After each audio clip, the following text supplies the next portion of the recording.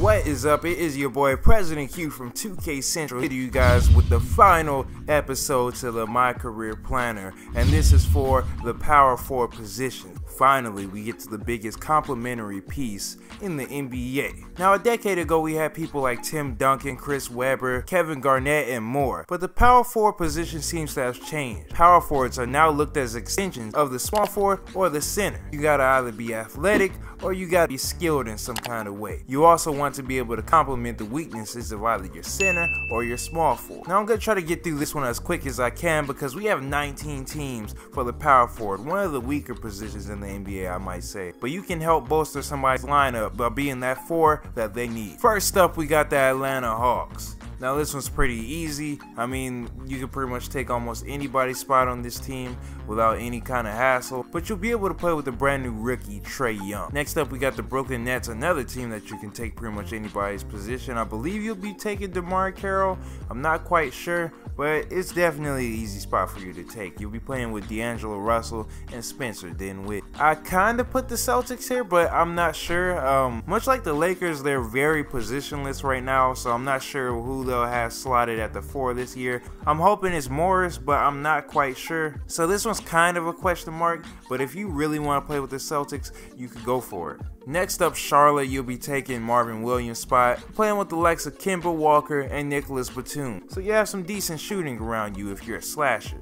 Next up, the Dallas Mavericks, and I hate to say it, but you got to take Big 41 spot. You know, Big Dirk, he's getting a little bit older, and maybe you can uh, put him in the bench position, and you'll finally be able to play with Dennis Smith Jr., Luka Doncic, and of course, DeAndre Jordan. Now, that's a team right there. Next up, we got the Denver Nuggets. I'm not quite sure about this because Paul Millsap is still pretty good. I mean, he was injured last season, but I definitely believe that this year he's probably going to be like a low 80, high 70, so you could definitely take his spot. And you'll be playing with Jokic, Murray, and of course Harris. Next up, this is a pretty easy one. The Houston Rockets, there's not too much competition here. I mean, you'll be playing with Carmelo, Chris Paul, and James Harden, and Clint Capela. You actually should be able to win a ring it with this team if you slot yourself at the four position, and it should be pretty fun.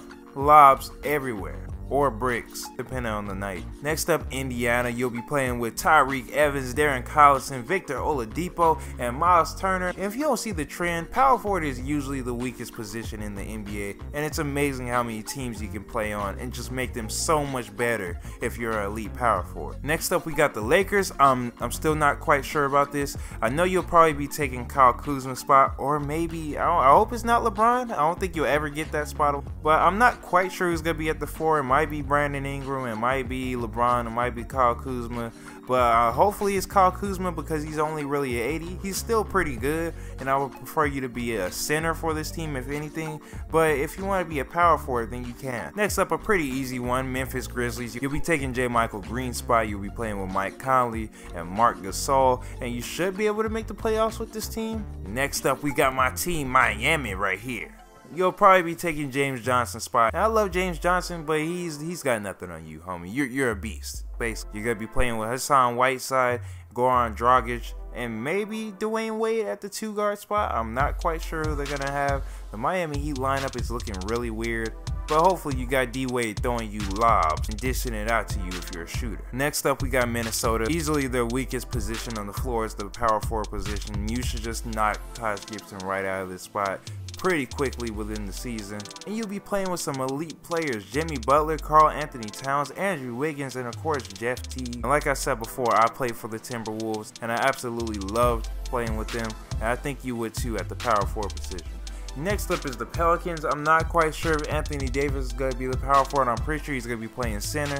And you're going to have either Mirotic or Julius Randle starting at the four. Take them right out of that spot and give Anthony Davis the four that he deserved. Next up is the OKC Thunder. I don't know why this chart put Paul George at the power forward position. That would be really stupid. If anything, the lineup's going to be Russell Westbrook, Andre Roberson, Paul George, and Steven Adams. And you? Oh my, oh, that's disgusting. You were gonna, you're gonna win rings every year, at least for four years straight. Next up is Philly. I would actually say their starting lineup's pretty stacked, but the four positions one of their weaker ones out of the five. I mean, that's up for debate, but not really. Dario Saric and JJ Redick are probably the two most expandable spots within the Philadelphia starting line. And yeah, just bump Dario Saric right out there and you could become either athletic finisher a post scorer, or even a sharpshooter and make this team elite. Next up is the Phoenix Suns. I mean, this is pretty easy. You'll be playing with Devin Booker and, of course, DeAndre Ayton, and you have a shooter in Trevor Ariza. Now it's the Portland Trailblazers, easily the weakest position on the floor, power forward. You definitely want to take Aminu right out of that spot, and you'll be playing with McCollum, Lillard, and Nurkic. That's a pretty nice lineup. Uh, Sacramento, you'll be taking Zach Randolph's spot. I mean, this isn't really a good team to play for unless you really like Sacramento and their jerseys and their program and De'Aaron Fox, but otherwise, nah.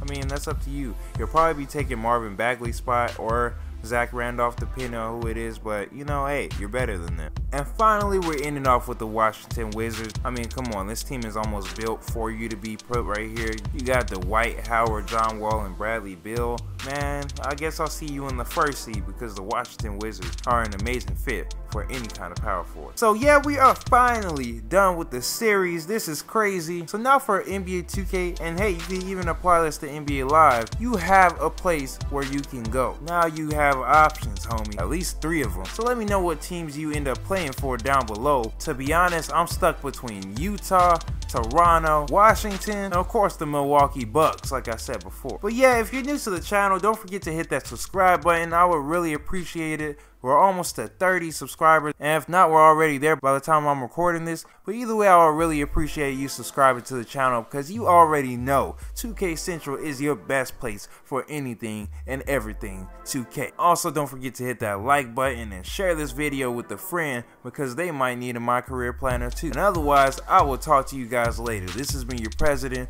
President Q, and I am out.